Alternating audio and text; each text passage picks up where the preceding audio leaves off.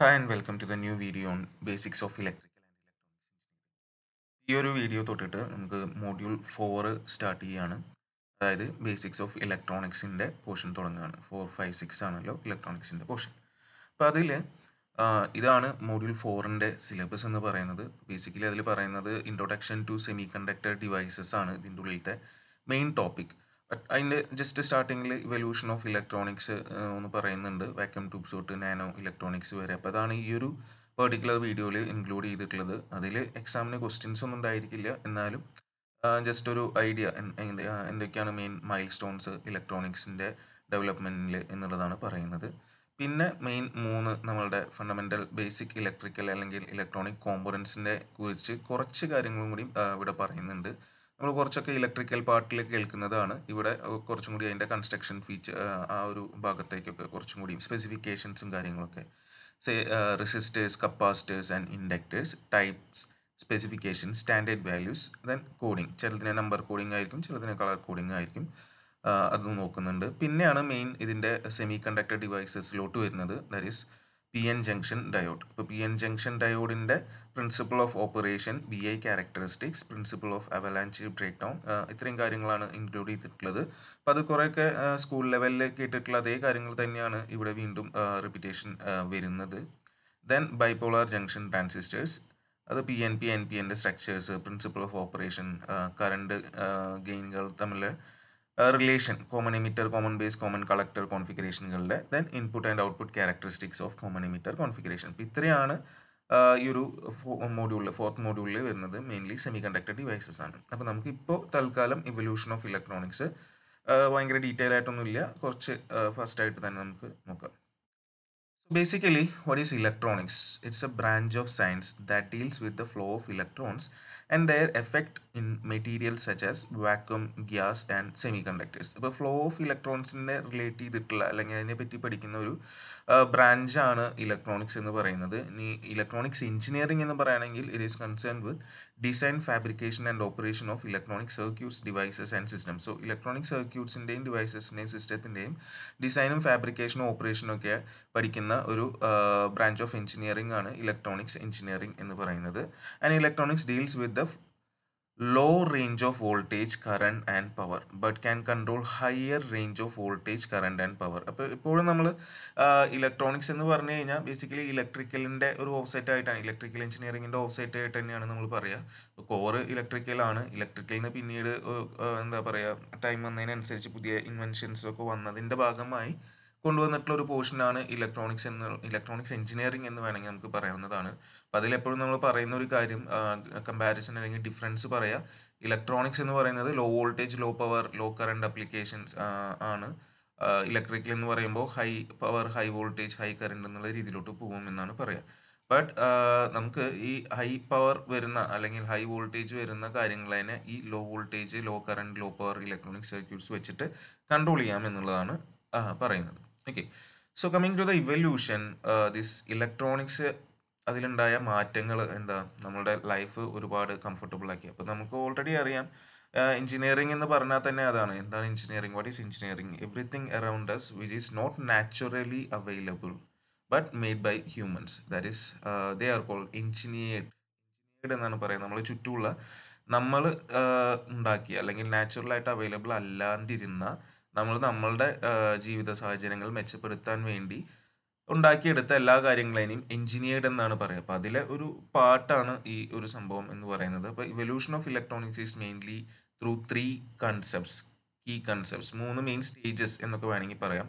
First is the vacuum tube generation that is first generation then we move on to the transistor or the second generation then the final the third I I C generation അപ്പോൾ ഇതൊക്കെയാണ് main ആയിട്ടുള്ള മൂന്ന് stepping stones ഒന്ന് vacuum ട്യൂബിന്റെ invention അതിന്ന് next ലെവലിലോട്ട് കയറി transistor വന്നു. അപ്പോൾ അത് അത്യാവശ്യം ഭയങ്കരമായിട്ടുള്ള മാറ്റങ്ങൾ വരുത്തിയിട്ടുണ്ടായിരുന്നു. അതിൽ നിന്നും ഭയങ്കരമായിട്ടുള്ള ഒരു മാറ്റത്തിലോട്ട് വന്നതാണ് ഇന്റിഗ്രേറ്റഡ് ചിപ്സ് എന്ന് പറയുന്നത്. അപ്പോൾ ഇതൊക്കെ ഒന്ന് ജസ്റ്റ് വേഗം ഒന്ന് ഓടിച്ചു പോകാമെന്ന് മാത്രം. Okay so it all started with Thomas Alva Edison who discover that electrons will flow from one metal conductor to another through vacuum so വാക്യത്തിലൂടെ എന്താ പറയുക മെറ്റൽ കണ്ടക്ടറിൽ നിന്ന് വേറെണ്ണത്തിലോട്ട് ഇലക്ട്രോൺസ് ഫ്ലോ ചെയ്യും എന്നുള്ളൊരു കണ്ടുപിടുത്തം. ഇതിനെ വിളിച്ചിരുന്നത് എഡിസൺ എഫക്റ്റ് എന്നാണ്. ഈ ഒരു എഡിസൺ എഫക്റ്റ് ആണ് ഇതിന്റെ എല്ലാം ഒരു ബിഗിനിങ് എന്നാണ് പറയുന്നത്. ഇപ്പം ഇദ്ദേഹം ഈ എഫക്റ്റ് കണ്ടുപിടിച്ചു എന്ന് മാത്രമേ ഉള്ളൂ. And John Fleming applied this Edison effect in inventing a two element electron tube which is known as the diode അപ്പോൾ ഇങ്ങോരാണ് ഈ ഡയോഡിലോട്ട് ഇത് ഡയോഡ് എന്ന് പറഞ്ഞിട്ടുള്ള ഒരു സംഭവം ഡെവലപ്പ് ചെയ്യുന്നത് using Edison effect and he is known for the invention of thermionic valve or vacuum tube ഈ ഒരു സാധനത്തിനെ വിളിക്കുന്ന പേരായിരുന്നു വാക്വം ട്യൂബ് ഇത് വാക്വം ട്യൂബിന്റെ കണ്ടുപിടുത്തം ഇദ്ദേഹമായിരുന്നു നടത്തിയത്.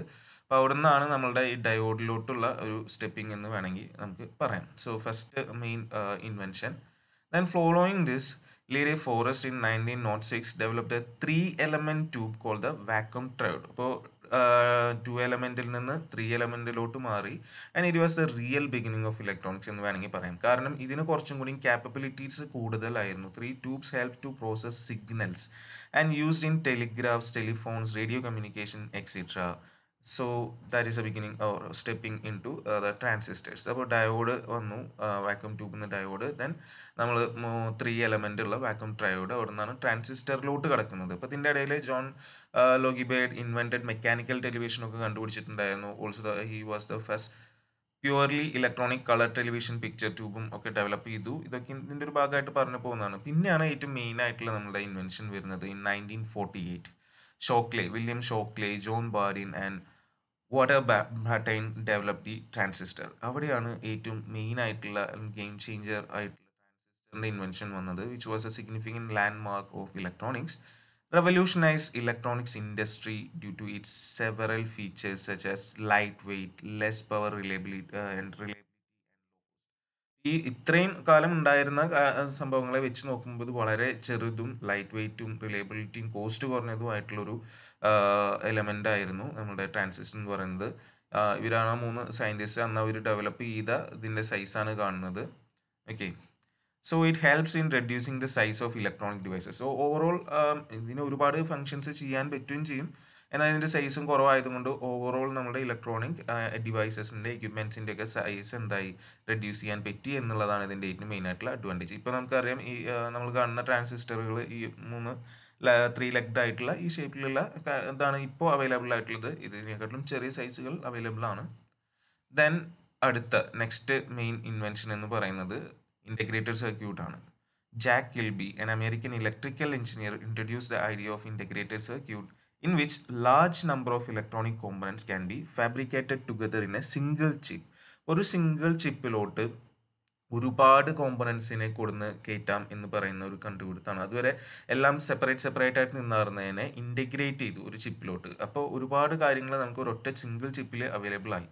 And it mark the beginning of microelectronics ഇപ്പോൾ മൈക്രോ ലെവൽ റേഞ്ചിൽ ten raise to minus minus six റേഞ്ചിലുള്ള ഇലക്ട്രോണിക്സിന്റെ ബിഗിനിങ് അവിടെ നിന്നാണ് വരുന്നത്. And Jack Kilby took part along with Robert Noyce in the realisation of the first integrated circuit while working at the T I Texas Instruments in nineteen fifty eight so ഇവിടെ എന്നായിരുന്നു ഭയങ്കരമായിട്ടുള്ള changes electronics ഇൻഡസ്ട്രിയിൽ വന്നത്.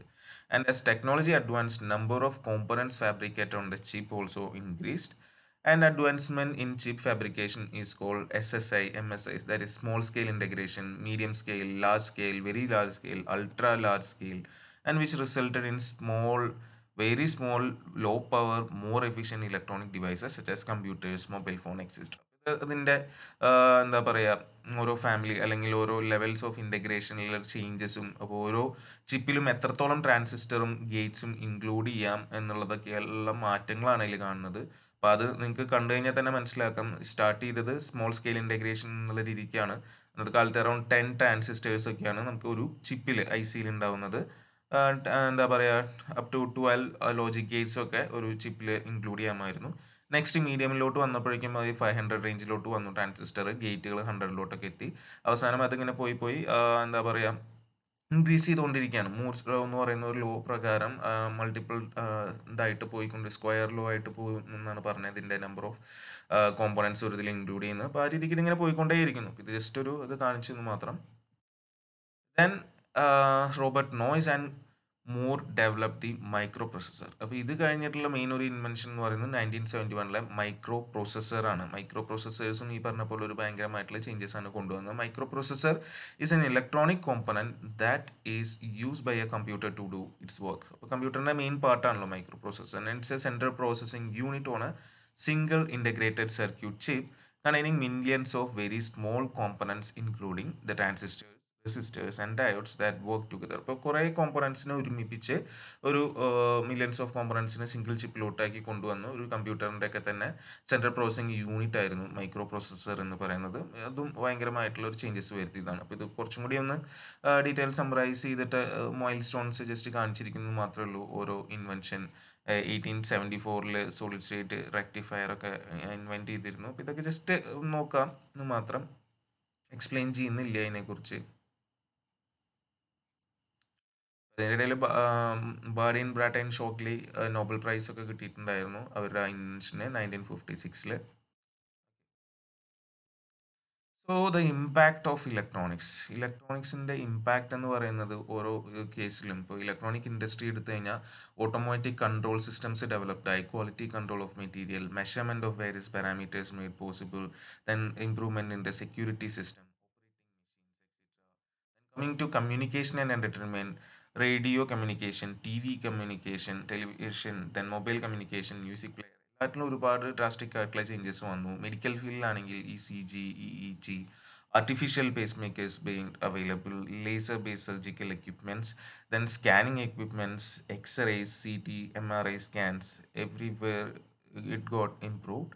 Then the instrumentation CRO, cathode C R O just beginning ആയിരുന്നു. D S O M S O എന്നൊക്കെ പറഞ്ഞത് പോകുന്നു. Signal generators then strain gauges and many many more then in defence main contributions എന്ന് പറഞ്ഞു കഴിഞ്ഞാൽ സോണാറും റഡാറും ഒക്കെയാണ്. Okay then the emerging electronics nanotechnology and nanoelectronics ഇപ്പോൾ റീസെന്റ്ലി നമ്മൾ പറയുന്നതെല്ലാം നാനോ ടെക്നോളജി നാനോ ഇലക്ട്രോണിക്സ് ഒക്കെയാണ്. ദെൻ ഒപ്റ്റോ ഒപ്റ്റോ ലൈറ്റിനെ റിലേറ്റ് ചെയ്തിട്ടുള്ള spin spin of electron spintronics എന്ന് പറയും. Then bio electronics biology inspired ഇലക്ട്രോണിക്സിനെ വിളിക്കുന്നതാണ്. സൂപ്പർ കണ്ടക്ടിങ് ഇലക്ട്രോണിക്സ് സൂപ്പർ കണ്ടക്ടേഴ്സിനെ കുറിച്ചിട്ടുള്ള സ്റ്റഡീസ് മോളിക്കുലാർ ലെവലിലുള്ള molecular electronics then organic electronics ഇതൊക്കെയാണ് എമേർജിങ് ഇലക്ട്രോണിക്സ് ഇതിൽ ജസ്റ്റ് നമുക്ക് നാനോ ഇലക്ട്രോണിക്സ് പറഞ്ഞിട്ടുള്ളത് കൊണ്ട് എന്താണെന്ന് ജസ്റ്റ് ഒന്ന് പറഞ്ഞു പോവാം. Nanotechnology is the science and engineering of small things നമുക്കറിയാം മില്ലി എന്ന് പറയുമ്പോൾ തന്നെ സ്മോൾ ആണ്. മൈക്രോ ആകുമ്പോൾ അതിലും സ്മോൾ ആയി. നാനോ എന്ന് പറയുമ്പോൾ അതിലും ten raise to ten to the power minus nine range ആയി. It deals with the manipulation of matter in nanoscale that is about one to hundred nanometres one nanometre എന്ന് പറഞ്ഞാൽ around three atoms long എന്നാണ് പറയുക. Ten to the power minus nine ആണ് one nano so what is nanoelectronics it refers to the use of nanotechnology in electronic components, mainly for the manipulation of miniature electronic components.